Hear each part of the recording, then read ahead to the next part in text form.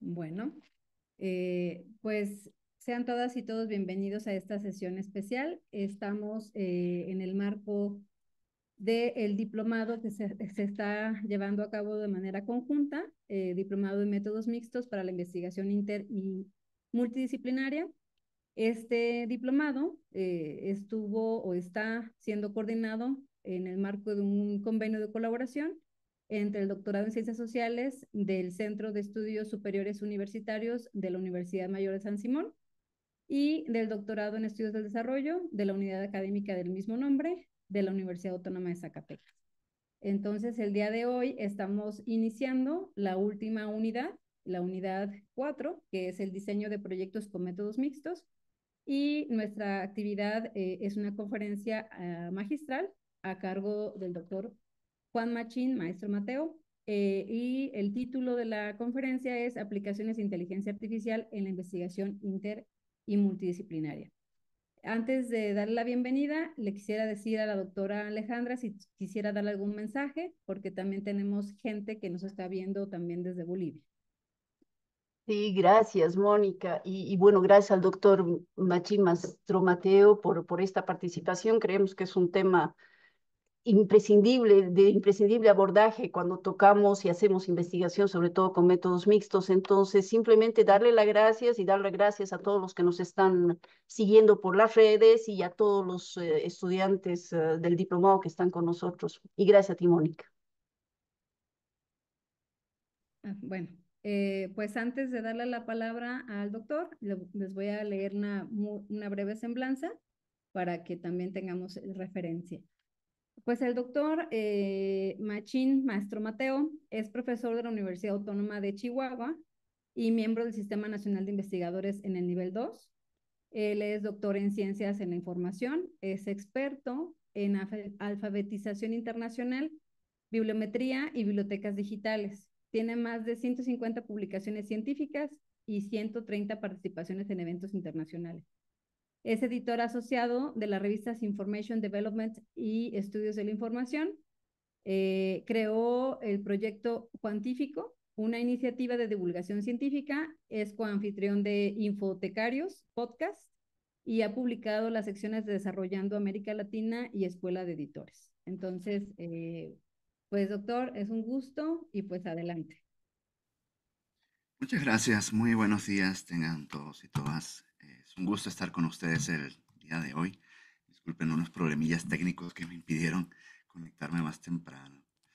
Bien, vamos a empezar de una vez con el tema de hoy. Me pidieron que hablara de inteligencia artificial, el tema de moda, ¿verdad?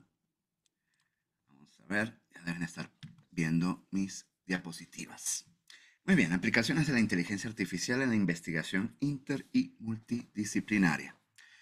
Fíjense la agenda que tengo para ustedes el día de hoy. Vamos a hablar muy rápidamente de algunos problemas con la IA en la investigación y publicación científica, algunos malentendidos que surgieron desde su masificación hacia finales de 2022 y luego eh, algunos, ahí sí, problemas que ha suscitado. Luego vamos a ver directamente algunos usos, digamos, aceptables que podemos de los que nos podemos dirigir para emplear la herramienta, para encontrar literatura especializada, para hacer más eficiente la lectura o apoyarnos con la labor de lectura del consumo de fuentes.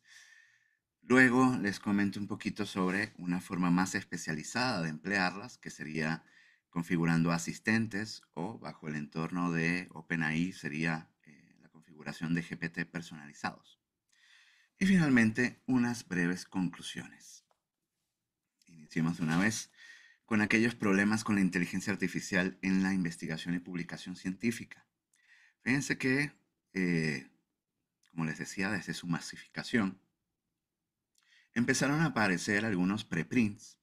No sé si están familiarizados con el término, igual lo definimos muy rápidamente un preprint es una versión preliminar de un documento científico, pero tiene como característica que no ha sido evaluado por pares aún.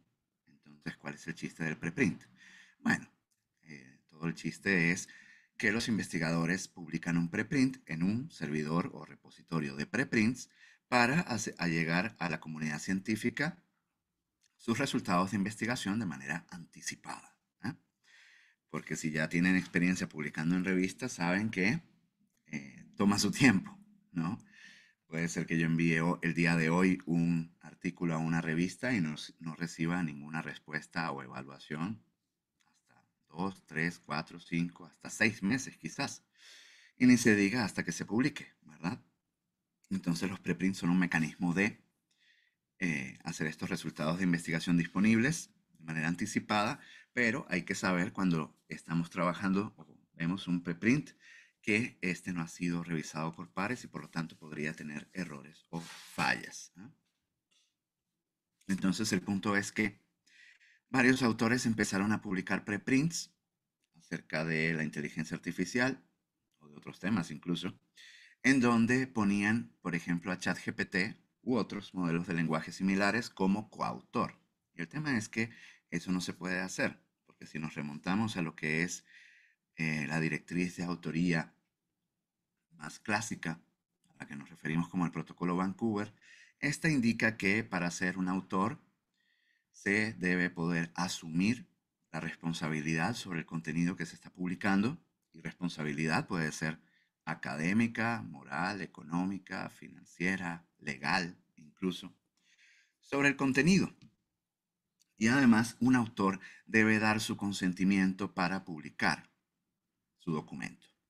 Entonces, una inteligencia artificial como una máquina, no una persona, no puede ni asumir la responsabilidad ni dar su consentimiento. Bueno, al menos por ahora, ¿verdad? Bien. Luego, otro problema que estamos viendo es lo que algunos autores han venido a llamar los rastros o huellas de IA en artículos e incluso se han encontrado en revisiones por pares.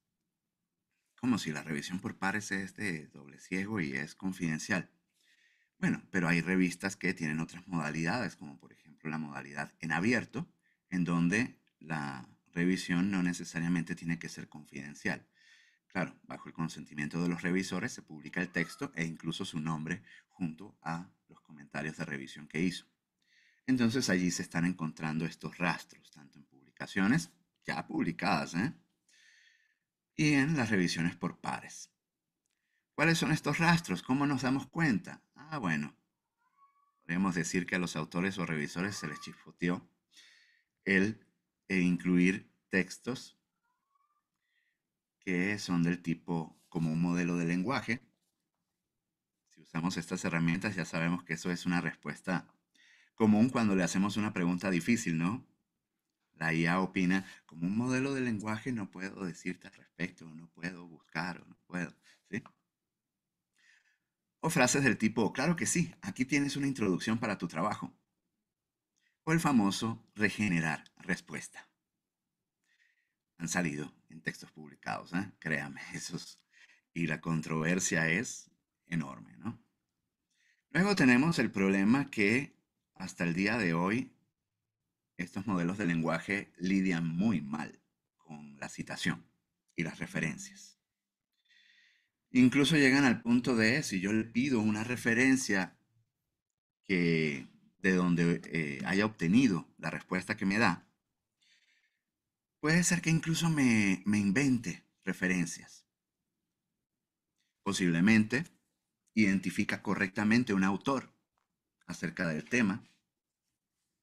Puede identificar una revista correcta que publica documentos, artículos sobre el tema. Pero el punto es que cuando vamos a buscar ese artículo específico que nos referenció, no existe.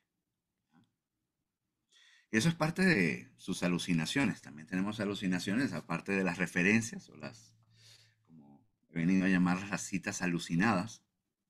Saben que las alucinaciones es cuando por alguna falla del sistema me responde cualquier cosa que nada tiene que ver con lo que le estoy preguntando, inventa.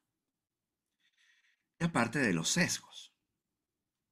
Tenemos que saber que estas IA o modelos de lenguaje fueron entrenados con cientos de miles de documentos, posiblemente incluso millones.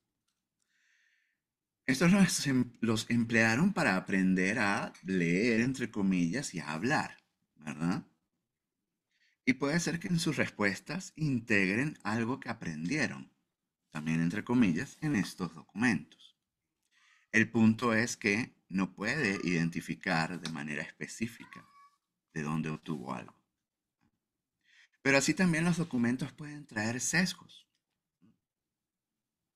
Pueden traer sesgos que, por supuesto, son de origen humano, ¿no? Pero están presentes en los documentos que fueron parte de su entrenamiento.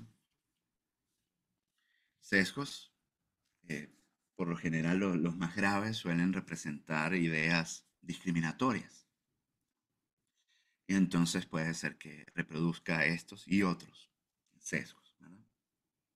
Es en cierto modo equiparable al plagio, porque si la IA no puede identificar correctamente las fuentes de donde obtiene una respuesta, en la que basa una respuesta que, que le da al usuario, entonces nosotros tampoco podemos saberlo. Si no me lo dice, yo no puedo tampoco rastrearlo. Y por eso si usamos directamente la IA para textos académicos, tenemos un alto riesgo de incurrir en plagio. Posiblemente no aparezca en los sistemas que llamamos antiplagio, porque seguramente lo está expresando de alguna manera en que es distinto a la fuente original, donde aparece esa idea. Entonces, si no podemos identificar correctamente las fuentes de donde viene un texto, pues ahí tenemos un alto riesgo de plagio.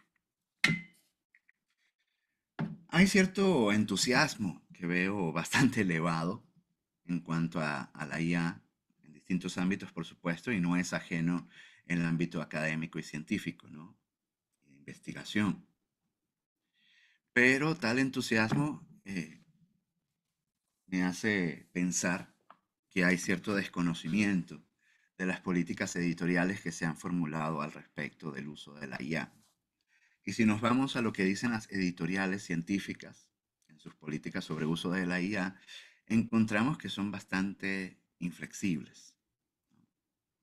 Prácticamente el único uso aceptable que me toleran es que yo use una IA para eh, revisar el estilo, ortografía y gramática de un texto. ¿Por qué? Bueno, la razón es porque ya estoy trabajando con un texto que previamente fue generado por inteligencia humana. Pero lo que no toleran especialmente es que yo presente en mi artículo contenidos generados con IA. Un gran reto que tenemos es que las mejores funciones de la IA, las que nos libran de gran parte de estos problemas, son de paga. Bien, vamos a ir viendo algunos usos posibles. Para encontrar literatura, cuando queremos determinar nuestro problema de investigación, cuando queremos hacer una búsqueda inicial de fuentes, saber qué nos encontramos y por dónde arrancamos, ¿verdad? Tenemos la primera herramienta que les voy a compartir. Esta se llama Research Rabbit. No sé si lo ubican. Me permite agregar documentos ya sea buscando, eh, usando esta plataforma, puedo buscar por DOI documentos específicos o puedo hacer una búsqueda más general por palabras clave queda más a la antigüita, ¿no? Permite buscar documentos relacionados. Una vez que yo le agrego algunos documentos, sea por DOI, sea por palabras clave, o sea, me parece que también permite subirlos. Me va a intentar de relacionar, ya, ya ven en la captura de pantalla, me relaciona visualmente estos documentos por medio de las citas, ¿verdad? Si se citan los unos a los otros los veo conectados por nodos y me expresa visualmente eh, por el tamaño de cada, de cada nodo. una cosa, no estamos viendo la pantalla, ¿eh? no estamos viendo nada. ¿Está presentando algo? No puede ser. A ver, voy a dejar de compartir. Yo creo que yo sí lo veo. no sé si sea, si otra gente lo vea. Ah, Yo sí lo veo. yo, también lo veo. Yo, yo también lo veo. Sí, sí, yo también lo veo. Ah, genial. Yo no lo veía, no sé qué pasó ahí. Vamos a hacer bien, rápidamente co- recompartir para ver si se activa Sí. la, la función en su equipo. ¿eh? Sí, muchas gracias. Ahí ya está recompartido. Gracias, ya se ve. Bueno, al menos ya Ah, lo veo. Gracias. Ok. Muy bien. Ok, les decía que les muestra las relaciones de los documentos y yo puedo explorar incluso más relaciones y más relaciones y ver los autores, quién se cita a quién, y entonces allí veo cuáles son los documentos más importantes alrededor del tema que yo elegí. Algo interesante es que tiene compatibilidad con el Sotero, el gestor de referencias. Esto puede ser muy útil. También eh, algo bueno es que es gratuita. Y eh, déjenme comentarles las alternativas que ven aquí abajo. Yo eh, les voy a hacer llegar la, la presentación, ¿eh? porque tiene, tiene sus ligas para si alguien quiere curiosear con estas herramientas, ahí mismo tiene Alternativas, está Litmaps, está Connected Papers, que tienen versiones gratuitas limitadas, por eso la que les muestro como prioridad es Research Rabbit. ¿no? Otra alternativa gratuita se llama Insightful, y hay una alternativa que solo de paga, que se llama Research Kick. Esta se especializa en eh, generar preguntas de investigación. Luego tenemos a Consensus. Esta es muy interesante y es una de las que más me gusta. La búsqueda es, eh, ya no es booleana, ya no es por palabras clave. Yo voy a hacer una pregunta. El lenguaje natural es una búsqueda semántica, así como uso cualquier chatbot, ¿no? De hecho, Consensus es un chatbot, pero especializado en recuperar fuentes y además estas fuentes puedo estar seguro que existen. Ese es el, el punto principal. Basa sus respuestas en fuentes existentes. ¿ah? Busco usando una pregunta. Tengo la función de sintetizar. Aquí en la captura de pantalla, la de arriba, ven que dice sintetizar y dice copiloto. La de sintetizar es el primer eh, rectángulo de arriba en que me presenta un breve resumen de una cantidad determinada de documentos. Aquí para esta respuesta puedo ver que dice se analizaron 10 documentos y me dice, me hace una síntesis de estos hallazgos en función de la pregunta que yo le hice. Si la pregunta que yo le hago puede ser respondida con un sí o un no, también me da el medidor de consenso. Por eso se llama consenso, la herramienta. Me dice que según 18 documentos que analizó, la respuesta a mi pregunta puede ser sí, según el 83% de los documentos, posiblemente 6%, y no, según el 11%. ¿ah? Aquí la pregunta tenía que ver con eh, la relación en eh, si el ejercicio mejora las habilidades cognitivas. Luego tenemos la versión de la función de copiloto. Aquí está. Copiloto que escribirá una respuesta narrativa a la pregunta usando ChatGPT. Digamos, el cerebro de consensus es ChatGPT, pero quienes han desarrollado esta herramienta han modificado el comportamiento de ChatGPT para evitar que invente fuentes. ¿Cómo hicieron esto? Bueno, como la mayoría de las herramientas más avanzadas de, este tipo de IA para investigación, tenemos que saber que la mayoría de estas utiliza una base de datos académica que se llama eh, Semantic Scholar. Esto es una base de datos considerablemente grande. Por supuesto, es mucho más grande que un Scopus, que un Web of Science, que Dimensions. Eso sí, no es tan grande, me parece, como Lens o como OpenAlex, ¿no? que son, y, menos como Google Académico, ¿no? que son las más grandes bases de datos. ¿no? Ok, el punto es que Copiloto entonces me produce una respuesta así tipo ChatGPT. Por supuesto, sería útil sería, podría ser muy útil para eh, ayudarme a preparar una discusión. Ya que yo tengo resultados y voy a preparar la discusión de mi trabajo científico, sabemos que debo confrontar mis hallazgos con la literatura. Y puede ser que en el marco teórico no haya identificado del todo la literatura que pueda explicar mis resultados. Lo que podría hacer es, a la luz de mis resultados, formular preguntas acerca de ellos que, eh, cuya respuesta, por supuesto, incluya las tendencias que yo encontré, pero que pueda haber otras visiones. Entonces uso consensus para determinar si hay otras fuentes que yo no había considerado que o bien me permitan sostener lo que yo encontré o incluso que se contradiga ¿no? con mis resultados, que podría ser posible. También ayuda a identificar el tipo de estudio que concluye algo. Fíjense las capturas de pantalla de abajo, en la diapositiva. Tengo aquí un metaanálisis. Me dice que es de una revista rigurosa y que además es altamente citado. Tiene alto volumen de citas y podemos ver la cantidad de citas incluso. Podemos ver que este estudio tiene 342 citas, el de abajo tiene 408 e incluso me presenta un breve resumen de lo que sería la respuesta a mi pregunta según ese estudio individual.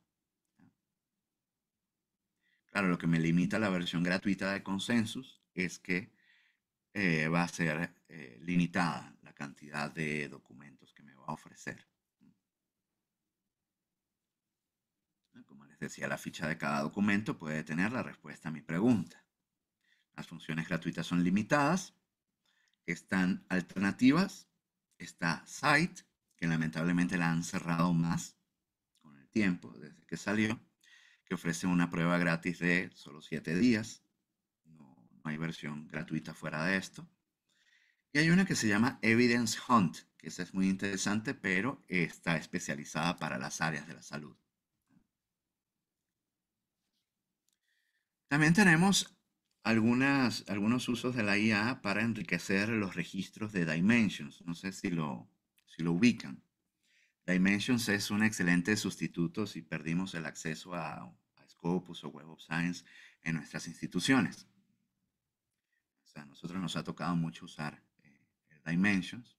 Es una buena alternativa, aunque no tiene políticas de selección basadas en la calidad de las fuentes, como lo tendrían estas alternativas comerciales, ¿verdad? Pero al mismo tiempo esto hace que la base de datos sea un poco más grande. Fíjense que acá, les traigo lo que sería la ficha de un resultado. Me identifica que la publicación es un artículo, el título, la revista, los otros datos bibliográficos, su DOI, autores. Y este cuadrito en gris son contenidos generados por IA a partir de ese documento. Tenemos primeramente el TLDR, para quienes no identifican la expresión, en inglés es el too long didn't read, es decir, demasiado largo no leí.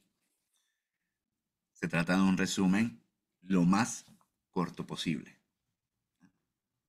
Entonces, fíjense que dice, este estudio exploratorio ha revisado 747 documentos doctorales para evaluar, tal, tal, tal. Luego tengo cuáles serían, y creo que, ah, aquí están. Aquí se los pongo por separado. Tengo los key highlights, que serían eh, los elementos clave destacados del artículo, en que me presenta afirmaciones que describen lo más importante del artículo. Y posteriormente tengo las palabras clave principales. Yo si no estoy muy familiarizado con la búsqueda booleana, puedo aprovechar si encuentro en Dimensions un documento que yo digo, este me sirve, pero el resto de los resultados no tiene mucho que ver con mi investigación o lo que yo quiero encontrar. Puede ser que necesite algo de ayuda en la búsqueda booleana. Podría entrar en, esta ficha documento que yo haya identificado que me sirve y copiar alguna de estas palabras clave porque podrían ser importantes de incluir en mi búsqueda. Para mantenernos actualizados hay una app gusta más por celular. Y luego eh, en esta aplicación puedo definir cuáles son mis intereses. Está disponible para Android y para iOS, Rediscovery. Puedo crear actualizaciones de contenido sobre mis temas de interés. Según mis temas, fíjense acá, me ofrece los eh, principales 100 documentos, documentos en acceso abierto, las revistas, los documentos que tienen acceso cerrado pero están disponibles gratis. E incluso tiene una función en beta que es el escuchar los documentos, que me los lea. ¿ah? Bueno, vamos a pasar a otro propósito, el hacer más eficiente la lectura. Estas serán herramientas para encontrar ideas más importantes a citar, para contrastar los resultados, para ver temas comunes, hechos y identificar fragmentos alrededor de temas o de categorías de análisis que yo pueda crear arbitrariamente. Tenemos uno que se llama Size Space, creo que este es el que más me gusta de su tipo, en que puedo hacer una pregunta y me responde con un texto narrativo citando publicaciones. En este sentido es parecido al consensus. Puedo también analizar varios documentos rápidamente. Puedo yo subirle los documentos a la herramienta o puedo buscarlos. Y este análisis que puedo hacer puede ser en función de las partes del documento. Puedo pedirle que me vaya identificando lo más importante de la metodología o bien de los resultados, de la discusión, de la conclusión, lo que fuera. Puedo usar categorías de análisis preestablecidas, que las tenemos aquí, por ejemplo, eh, que haga un resumen, que me muestre las contribuciones o las implicaciones prácticas de esa investigación, extraídas del documento, por supuesto. O yo puedo crear una palabra clave para que la IA busque dentro del documento y me resuma eh, lo más importante que dice acerca de esa palabra clave. Esa sería una categoría de análisis eh, agregada, ¿no? Que yo puedo agregar acá. Dice crear una columna cómo, cómo se lee esta interfaz, ¿no? Aquí más abajito de esta sería este otro cuadro. Tengo 10 documentos puestos acá. Me identifica el documento. Y a la derecha tengo la columna activa en que estoy trabajando con las limitaciones de estos estudios. Pero en el de arriba está trabajando con insights, que serían resultados generales que se puedan obtener de ese documento. O yo puedo ir agregando columnas, incluso como les decía, con una categoría de análisis eh, que me interese a mí específica, temática. Por ejemplo, podría decir, decirle eh, el rol de los docentes. Entonces va a ubicar si el documento habla del rol de los docentes en ese documento y me resume qué es lo más importante. Ya luego yo defino si eh, vale la pena ya revisar el documento completo y citarlo apropiadamente. Puede importar documentos, como les decía, ofrece funciones gratuitas limitadas y alternativas similares incluyen a Scholarcy, Lateral, Elicit, que tienen funciones gratuitas limitadas también. Luego tenemos los que se conocen como los chatbots generales especializados, así se definen ellos mismos, ¿no? Que son aquellos que me permiten trabajar con documentos que yo seleccione. Fíjense acá yo tengo una, yo puedo hacer carpetas de documentos, puedo subir documentos y trabajar con varios o eh, varios documentos a la vez o con un documento individual y hacerle preguntas, digamos, al documento usando eh, la tecnología de ChatGPT para el caso de este de Chat, ChatDoc.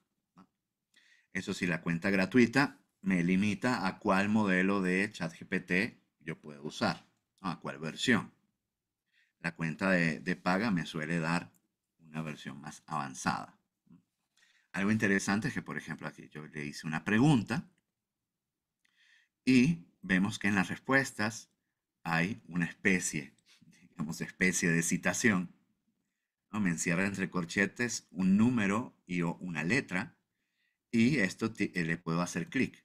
Como ven está en azul, cada uno de estos es una liga. Y, me, y si le hago clic, me llevaría a la sección del documento donde habla de esto que sintetizó acá. Como ven, cada punto identifica dónde está. De esta manera yo puedo identificar ideas más rápidamente, irme directamente a donde está presente esa idea en el documento y yo ahí defino si lo copio y, pego para hacer una cita. Puede agilizar un poquito la velocidad de eh, la lectura y citación, ¿verdad? También puedo escribir un resumen con estos. Ya les dije que analizan documentos en función de una pregunta.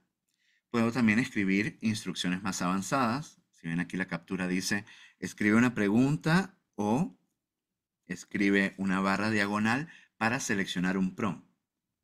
Yo puedo crear un prompt más avanzado en que se haya una serie de instrucciones, una serie de pasos que debe hacer eh, la IA para antes de darme una respuesta. Suelen señalar de dónde extraen sus respuestas, como, como muestra este. El que más me gusta es este, el ChatDoc. Pero hay otras opciones. Está Kodi y ChatPDF, junto a este que se llama ChatDoc. Tienen funciones gratuitas limitadas. Limitado a la cantidad de documentos que yo le puedo subir y eh, la versión del modelo de lenguaje que yo puedo usar para, para mis preguntas. Bueno, ¿y qué pasa con la escritura? Díganos sobre la escritura, ¿cómo hacemos para que me escriba un artículo? Bueno, eso es complicado. La IA no, no la debería emplear para que me escriba el artículo. Por más que vean en Facebook promociones de herramientas que prometen sistemas que le escriben un artículo indetectable, porque también podríamos hablar de la detección de la IA en textos académicos. Pero para estos propósitos no las deberíamos usar para, por distintas razones. Una porque podría ser un documento lleno de alucinaciones, tener fuentes falsas, no tener la exhaustividad necesaria en un documento académico, sobre todo en la parte de análisis.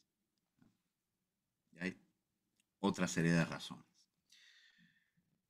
No debería usar ChatGPT u otros para escribir, o al menos no copiar y pegar lo que me escupa la inteligencia artificial sin transformar el texto, sin agregarle inteligencia humana. Como, como siempre, se recomienda cuando investigo y tengo que escribir, bien sea una tesis o un artículo, lo mejor es empezar pronto a escribir, no esperar a leer todo empezar a leer poco a poco y leo, cito, leo, cito, integro, organizo, reorganizo. Una función muy interesante que yo he encontrado es la de el dictarle a Word y vemos que eh, Word, eh, si usan la versión 365 de Office, la función de dictado es fantástica. De verdad dio un salto cualitativo enorme porque si alguno, alguno de ustedes ha probado históricamente programas de reconocimiento de voz para, dictado de los últimos 15, 20 años, eran herramientas muy difíciles de configurar. Incluso había que entrenarlas con la propia voz para que finalmente me la reconociera. Con Office 365 no hay ese inconveniente y de verdad toma el dictado muy bien, pero si yo me detengo mucho, así como estoy haciendo ahora que les estoy platicando, si el Word tiene activada la función de agregar eh, puntuación, signos de puntuación, agregaría pero montones. Lo que hago es desactivarle la función de que ponga puntuación, porque a veces hablo muy fluido, a veces no.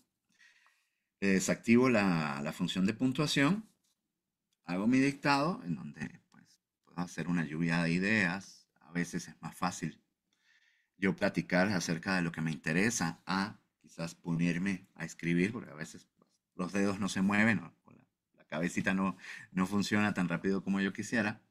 Pero si platico, quizás pueda ser más útil. Y luego toda esta plática que le hice a Word, que tomó el dictado, la paso por ChatGPT. Por ejemplo, un, prompt muy simple sería elimina eh, palabras y frases redundantes de este fragmento y edítalo para que sea un texto científico coherente. Para mejorar la redacción en inglés, lamentablemente solo están disponibles en inglés, se llaman PaperPal o Grammarly. De verdad están muy buenos. Estos sistemas ojalá estén pronto disponibles en español. Creo que no terminé la idea anterior. Fíjense lo que después de aplicar este prompt, y en mi canal pueden ver eh, un prompt incluso mejor que este, más confiable, donde le pido que no agregue nada no agregue ninguna idea que no esté en el dictado original. Solamente que le agregue signos de puntuación, divida por párrafos. Incluso les presento en ese video dos prompts. Uno para que solo le haga un cambio estético y otro para que me cree incluso secciones. Agregue títulos, clasifique, pero que no modifique ninguna de las ideas que yo le presenté, ni tampoco altere la redacción. Ya para ir cerrando con las herramientas, tenemos asistentes o, GPT personalizados, que sería como generar una versión más chica de GPT que usaría para propósitos específicos. Así yo estoy eh, haciendo de esta tecnología un asistente de investigación. Podemos encontrar gratis para hacer pruebas, aunque está muy limitado cantidad de instrucciones que le puedo dar y a la cantidad de texto que puede analizar, puedo usar eh, el entorno de prueba de, OpenAI o bien ya eh, con la versión de paga de ChatGPT puedo configurar un asistente sin eh, estas limitaciones. Puedo trabajar con más parámetros, establecer una base de conocimiento, quizás el término este es un poco raro, ¿no? De base de conocimiento. Podemos decir que todos los documentos que estos modelos de lenguaje usaron para entrenarse, para aprender a leer y escribir, eh, son su base de conocimiento. Necesariamente una base de datos porque está a nivel textos completos. Pero cuando yo configuro un asistente, yo puedo decirle, bueno, al, crear una base de conocimiento, yo le estoy diciendo básicamente, ignora toda tu biblioteca con la que aprendiste a leer y solamente utiliza esta biblioteca, que pueden ser otros documentos, pueden ser instrucciones detalladas, pueden ser incluso datos cuantitativos y cualitativos. Esa sería la base de conocimiento. Voy a mostrar muy rápidamente la interfase para para crear los asistentes. ¿Y por qué desarrollar un asistente y no preguntarle directamente a ChatGPT con la versión gratuita, para ahorrarnos los 20 dólares? Bueno, por aquello que les decía de la base de conocimiento.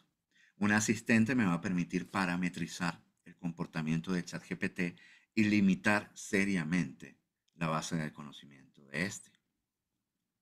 Y esto me va a permitir evitar en gran medida las alucinaciones y también que use documentos que yo no conozca y por lo tanto no se puedan citar.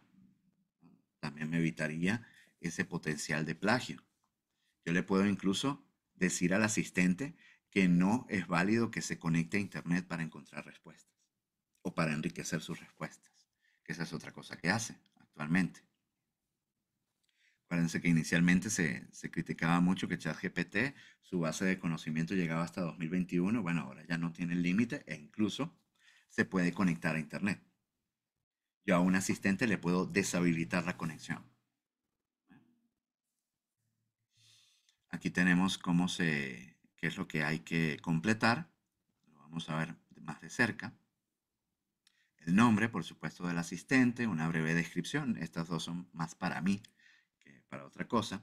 Las instrucciones ya aquí se van a definir. Aquí hay que tener en cuenta el límite. Me parece que aquí no, lo, no tengo el límite. Déjame ver si más adelante. Sí, el límite de las instrucciones son 8000 caracteres. Dependiendo de lo avanzado que deba ser mi asistente, puede ser que esa cantidad de caracteres baste y sobre, o puede ser que me haga falta. Por ejemplo, con un colega hemos ido desarrollando asistentes para eh, revistas, solo como ejercicio intelectual, porque hay sus consideraciones éticas y de confidencialidad por las cuales no se debería usar en una revista. Pero es un ejercicio intelectual que puede servir para cuando podamos eliminar esas complicaciones. En fin, ese asistente de revista y un asistente para enseñar búsqueda de información, esos eh, son más complejos y requieren más de, las 8000, de los 8000 caracteres. Entonces lo que tienen en esos asistentes en particular en las instrucciones son la es la descripción eh, general de las actividades que debe hacer y dentro de esas instrucciones tiene referencias a documentos en la base de conocimiento que les da instrucciones más específicas por cada tipo de actividad. Aquí solamente se describen las actividades, cuáles son los parámetros que debe usar, a cuál documento se debe referir para saber cómo hacerlo y cuáles son las relaciones que puede haber entre actividades, aparte de su rol, eh, los tipos de respuesta que da, yo quiero que me presente las respuestas en formato de tabla, por ejemplo, se lo digo, tengo que decir aquí en las instrucciones. Aquí si yo voy a compartir el asistente, puedo agregar esto de los eh, puntos de partida de conversaciones, en que podría enlistar las actividades que hace, para que otros sepan al abrir este asistente qué eh, cosas le pueden preguntar. Esto de puntos de partida para iniciar conversaciones se vería como esto cuando yo abro por defecto ChatGPT, en que me hace sugerencias de qué cosas le podría preguntar. Eso es lo que yo estaría modificando. La base de conocimiento, que ya la mencionamos varias veces, le voy a subir literalmente documentos con instrucciones más detalladas o puede ser incluso con datos cuantitativos, cualitativos. Y le podemos decir si los documentos tienen instrucciones, le digo más arriba, en acá en estas instrucciones, si, el documento trae eh, instrucciones más detalladas, le digo, revisa las instrucciones detalladas y los parámetros de cómo hacer esta actividad en el documento fulanito.pdf. Y ya lo identifica fulanito.pdf, debe estar acá en su base de conocimiento. Eh, ajá. Y si queremos eh, que emplee estos documentos y sobre todo que analice sea capaz de analizar datos, tenemos que encender una función que se llama el interpretador de código, la tenemos más abajo. Aquí podemos encender o apagar la función de que se conecte a Internet, podemos prohibirle que se conecte. Si debe estar disponible la función de generación de imágenes de DALI. Y luego el interpretador de código, necesario para que analice documentos adjuntos, datos e incluso que haga cálculos. Finalmente tengo también la parte de acciones, ya para usuarios mucho más avanzados, que eh, sería para trabajar con APIs de otras, eh, otros servicios, otros sistemas. Por ejemplo, podría preparar un asistente para apoyarme a preparar documentos científicos. Claro, hay algunas consideraciones que vamos a ver si más adelante las incluí, que hay que tener en cuenta acá. Fíjense que en cortito, nosotros no sabemos, estas IA, cómo preservan la confidencialidad de los contenidos que yo les comparto. Entonces, si yo les comparto un borrador de un documento mío, pues es un documento confidencial. No sabemos si la IA eh, sencillamente lo desecha después de que trabajemos con él, o si lo guarda o si lo usa también para su propio entrenamiento. En fin. Podría solicitarle recomendaciones de revistas donde publicar. Lo malo es que por aquello de los sesgos, me recomendaría revistas usualmente de editoriales comerciales, de, eh, con alto factor de impacto, indizadas en los índices principales. ¿no? Ahí hay un buen ejemplo del sesgo. Puedo usarlo para confirmar la pertinencia temática de mi documento a una revista específica.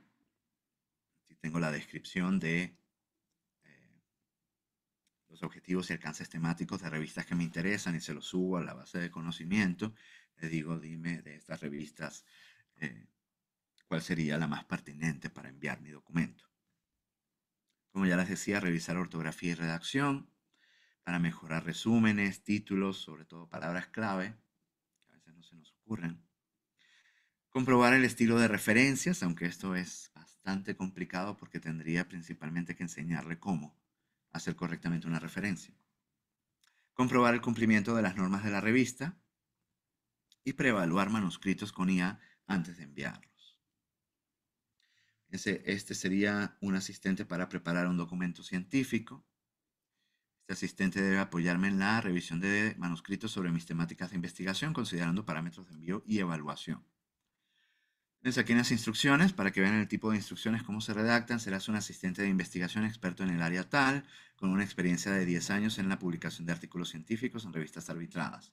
Tu trabajo será analizar que mis documentos cumplan con los parámetros de envío y evaluación de las revistas, que por supuesto debería agregar cuáles son esos parámetros le dejo activo el Code Interpreter, el interpretador de código, como les decía, y mínimo en la base de conocimiento debería agregarle las normas de la revista que me interesa, el formato de citas y referencias, las directrices para presentar resúmenes, títulos, palabras clave, incluso si la revista pide un tesauro, tendría que agregarle el tesauro.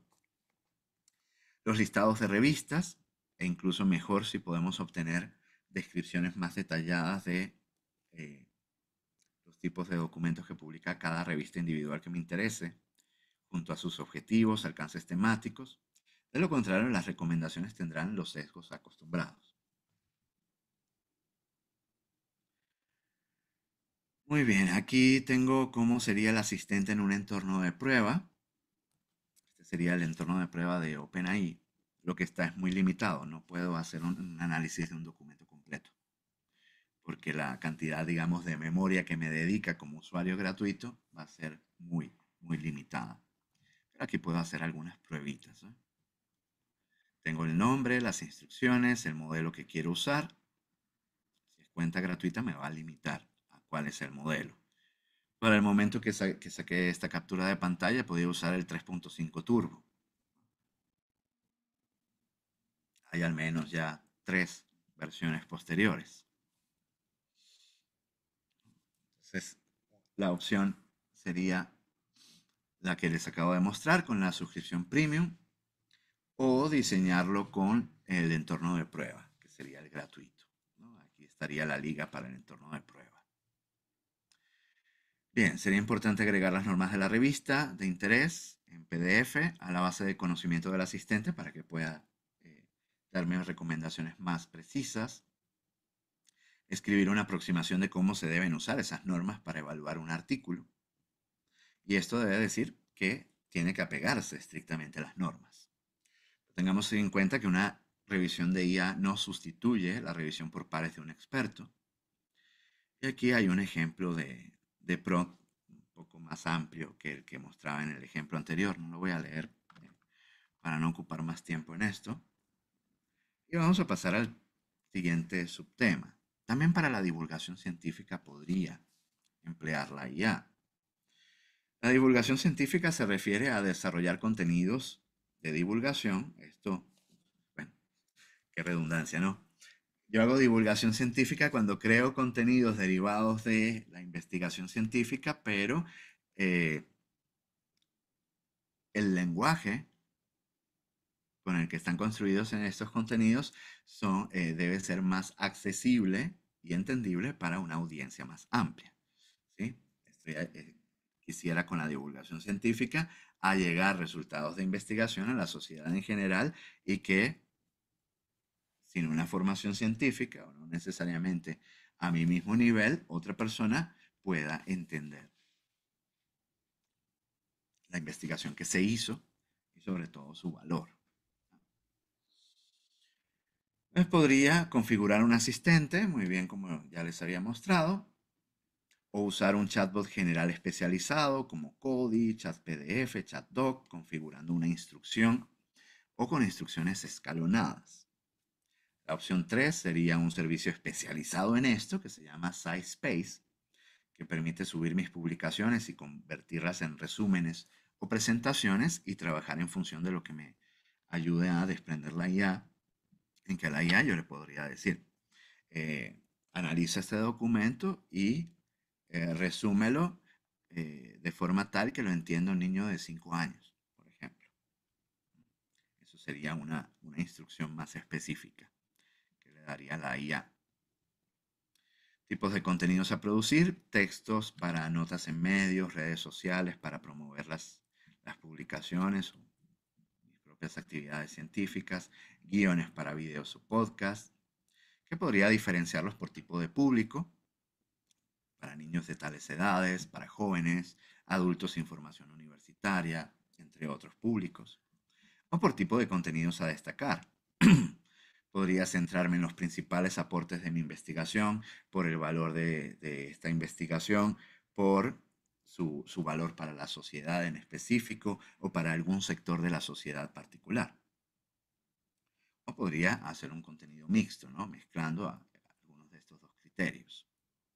Aquí tienen un ejemplo de un prompt en, un prompt en ChatDoc le digo, actúa como divulgador científico que comunica resultados de investigaciones al público en general. Por lo tanto, redacta tus respuestas en un lenguaje accesible y fácil de entender por cualquier persona sin formación científica o universitaria. Y aquí le digo, céntrate en estas tres cosas. Y aquí fíjense, nomás visualmente, en la diferencia de resultados que nos ofrece una distinta versión del modelo de lenguaje. Aquí tenemos una respuesta de GPT-3, que sería la gran versión anterior a la, 4 que estamos usando actualmente. Fíjense, esta nomás visualmente, y luego la respuesta del 4O, que es la versión más avanzada del 4. Fíjense que ya está dividido en secciones, y me repite cuál es la pregunta que yo le hice, y ya no, eh, no solo me está dando bullets, sino es capaz de formular un texto también coherente, más narrativo. Yo también se le puedo especificar esto, el tipo de respuesta que quiero en mi instrucción.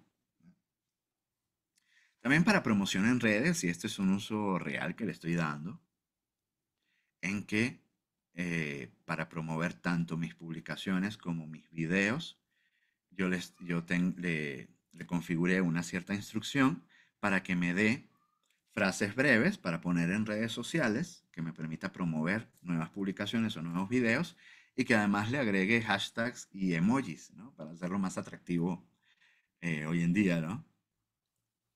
Yo, por ejemplo, a cada una de estas frases le agrego después al final eh, esto y más en mi más reciente publicación y pongo la liga o esto y más en mi nuevo video.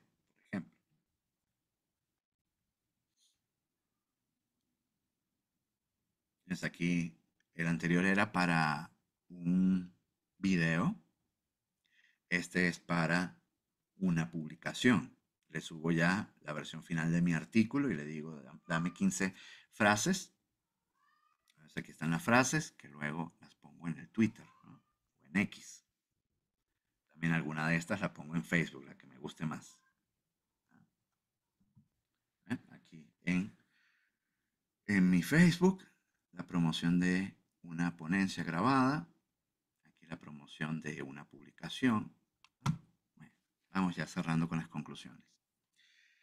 La IA, en cierto modo, es una tecnología que democratiza un poco estos usos tan avanzados de, la, tecnología, ya que no requiero de saber de eh, código informático para usarlas.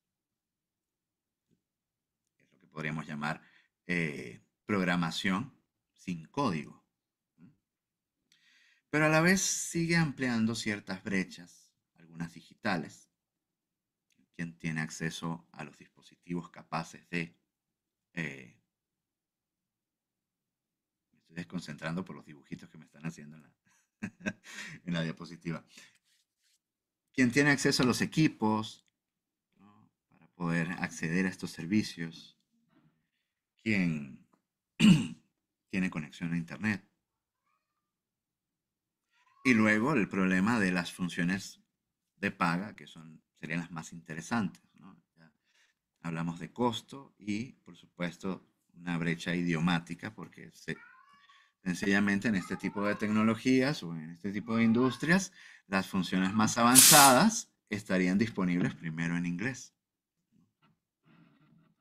Aunque funcionan muy bien con otros idiomas, especialmente con el español. Todos modos, tengo que evitar depender demasiado de la IA, porque su mal uso puede dañar la credibilidad científica. Por lo tanto, necesitamos establecer políticas y usos correctos de la IA. Las políticas, las editoriales científicas, usualmente o mayormente las comerciales, ya han hablado, ya han especificado sus eh, normas, sus reglas del juego en cuanto al uso de la IA, pero yo siento que las instituciones estamos un poco rezagadas en cuanto a la generación de políticas. Y acá en el país apenas, apenas si estamos superando aquello de generar una política eh, que responda al problema del plagio, por aquellos famosos casos que, ha habido, pues nos cayó encima la, la, IA y no hemos terminado de asimilar el tema del plagio y ya tenemos que ver de establecer otras políticas por otras razones. Si lo usamos para todos, puede colapsar el desarrollo de ciertas habilidades. ¿eh? me preocupa jóvenes que de una vez tengan acceso a estas tecnologías y no aprendan algunas cosas a la antigüita, incluyendo leer y entender la lectura, pues colapsaría algunas habilidades como la lectura, la comprensión, el pensamiento crítico y sobre todo algo muy importante en la academia, la capacidad de desarrollar argumentos propios. Cuidado con las IA que sean más generosas, como por ejemplo la, la Jenny, y ni se diga la que se llama Aitor, que es una que te promete hacer tu artículo de manera tal que sea indetectable el uso de IA. Por supuesto, tienen al mal uso. No sabemos qué tan exhaustivas son las herramientas en su análisis. Yo diría que muy poco. O también depende.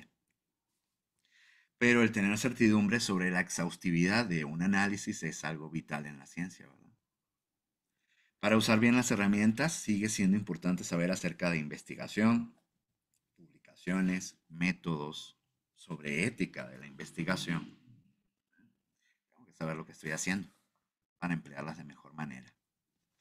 Les dejo con esta reflexión. ¿Podemos coexistir con estos sistemas y mantener los aportes de la inteligencia humana? Les agradezco mucho, por supuesto, la invitación y su amable atención. Eh, si les gustó esta presentación. Desarrollo contenidos acerca de información, investigación y publicación científica, contenidos audiovisuales en mi canal de YouTube. Si no me conocen, pueden visitarme allá en YouTube. Pueden buscar el nombre de mi canal, Juantífico, en el buscador de YouTube.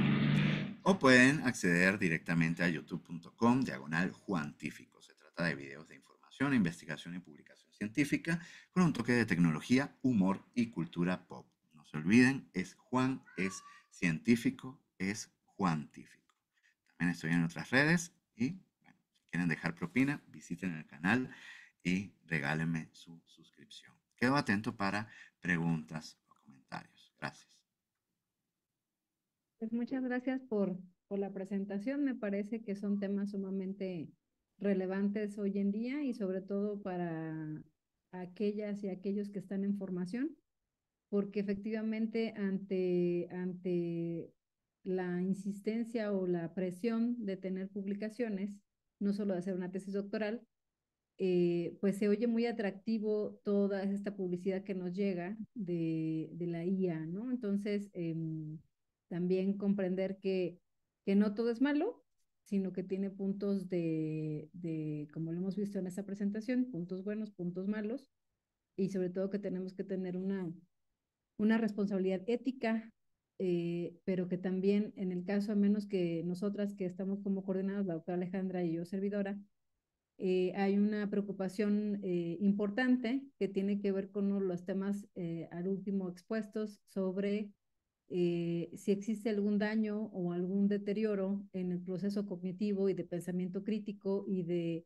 habilidad para generar ideas propias, ¿no? Entonces, es un riesgo que también decimos, bueno, se oye muy bien que nos ayuden a hacer un resumen, que nos ayude a hacer esto, pero si a la vez eso eh, no es una habilidad que tendríamos que estar desarrollando por nosotras mismas, por nosotros mismos, ¿para qué? Para que en el futuro, pues, el trabajo vaya siendo más, eh, pues, vaya siendo de mayor calidad, ¿no? En fin, eh, son mis reflexiones, ¿verdad? entonces ahora abrimos el espacio para preguntas por aquí. La primera, y que sí se tocó, ah, que sí lo tocaste, doctor, tiene que ver con si estas herramientas solamente funcionan en inglés. Por ahí comentaste algo, pero yo no sé si nos pudieras este, em, hacer alguna apreciación un poco más amplia sobre si, por ejemplo, se puede utilizar, sobre todo en aquellas aplicaciones en donde una, uno le pone o, le da, o sube los documentos, ¿no? Porque no, no todo es que eh, lo haga por sí solito, sino que nosotros le proporcionamos de aquí, de esta base, de estos documentos, analiza tales preguntas. Entonces, si, las preguntas pueden ser en español y si tiene todavía fallas, pues entonces la recomendación sigue siendo usarlas en inglés. Entonces sería esa la primera pregunta. Sí, claro, hay que probar el servicio individual del que se trate. Eh, por lo general, si muchos de estos, el motor de ellos es ChatGPT, eh, quién sabe, hablar en español y podría eh, emplearlo.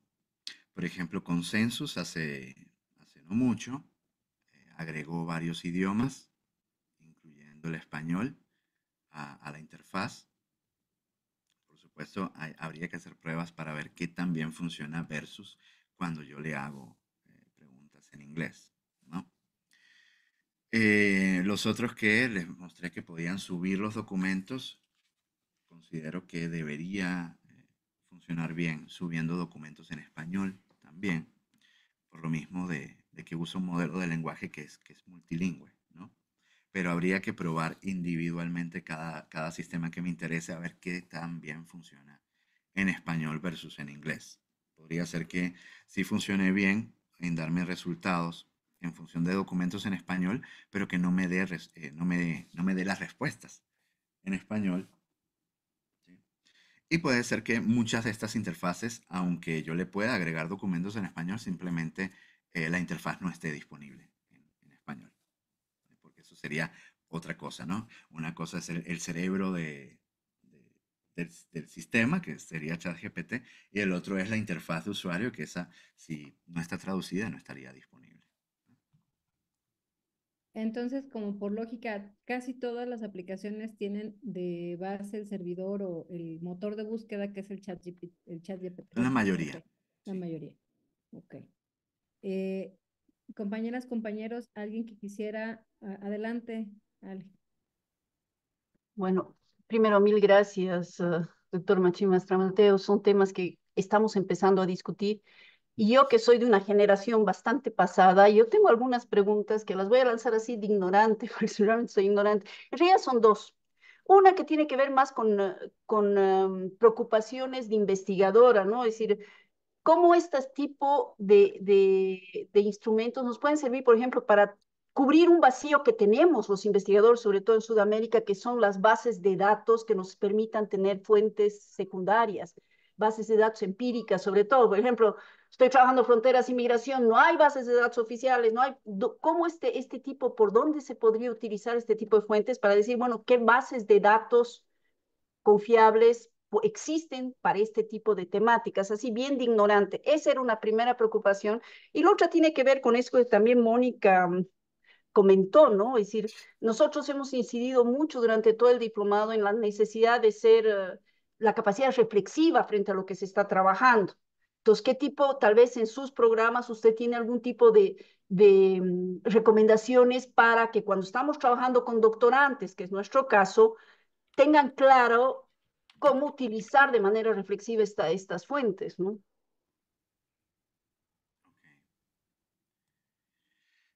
En cuanto a las bases de datos, la mayor parte de, los servicios especializados de IA para la investigación usa sencillamente la de Semantic Scholar. Y esto es una base de datos libre que yo puedo usar por fuera de las herramientas. No necesariamente la tengo que usar con una IA, es una base de datos a la que yo puedo acceder eh, aparte y hacer mis búsquedas como, como la he hecho toda la vida. Claro, es una base de datos, por supuesto, referencial. Eh, tiene eh, la posibilidad de acceder a algunos textos completos, pero por supuesto está limitado por cuestiones, ya sabemos, comerciales. No, no nos va a solucionar, yo diría, en nada la IA al acceso a documentos. Solamente a identificar otros documentos que posiblemente no me han aparecido en las búsquedas que yo he hecho en las bases de datos que yo tenga disponibles. O quizás en descubrir algunos otros que no haya visto y poderlos descubrir porque tienen relación con un documento que ya usé. Pero lamentablemente esta tecnología no nos soluciona en nada este problema. Y el tema de, de usarlos con, con estudiantes de doctorado, lo que plantea, pues complicado. Yo creo que lo que podemos hacer es, eh, o lo más importante que podemos hacer es conocer nosotros mismos estas aplicaciones ver lo que hacen, conocer sus características, eh, hacer pláticas de este tipo y sensibilizarlos también con la, con la parte ética de, la investigación.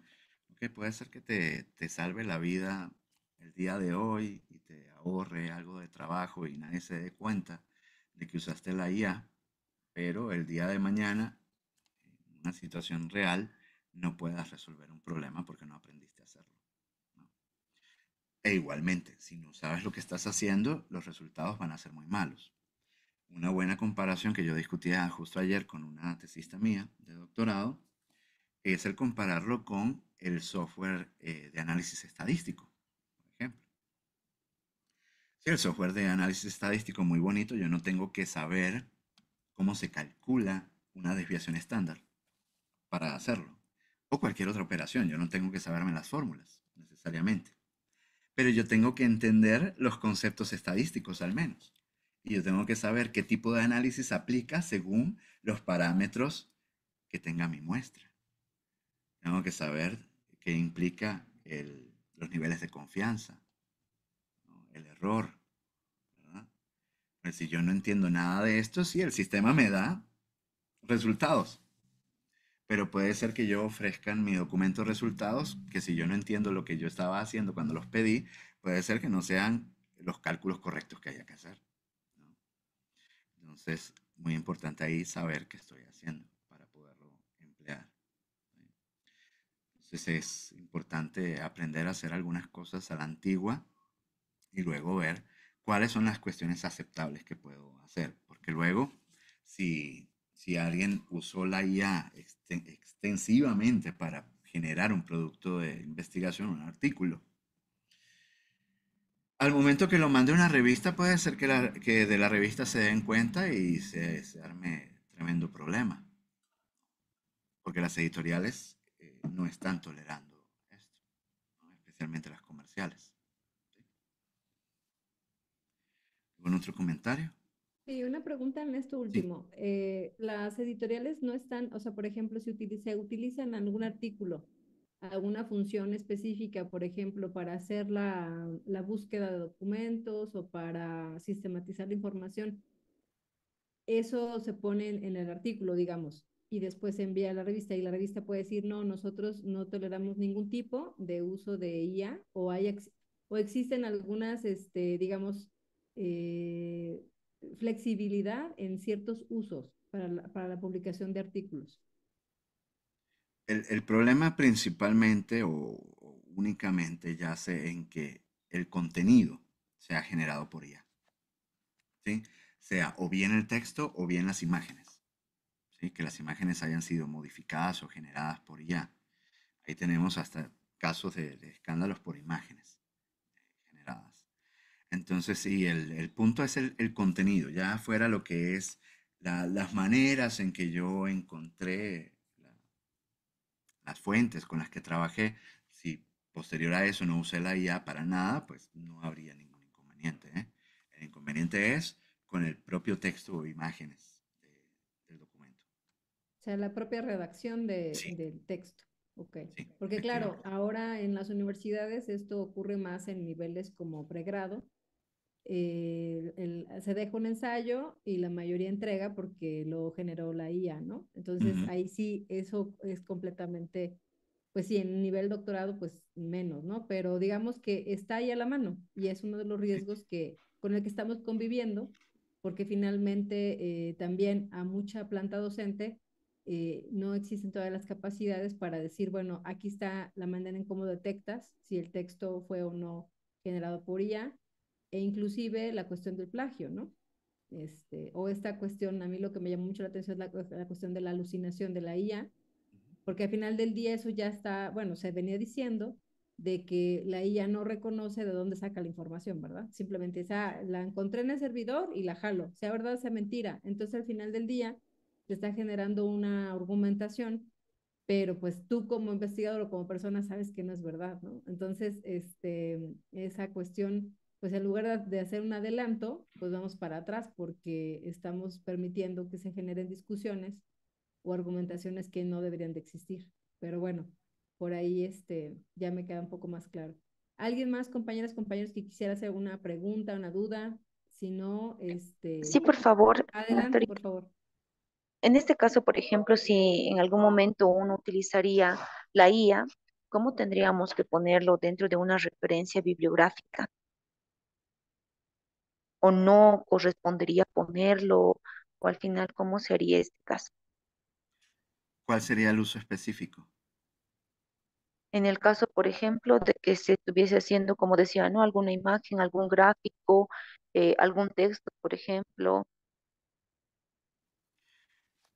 Por ahí vi incluso en los correos de Cielo México el día de ayer precisamente compartieron un artículo que anda por allí acerca de la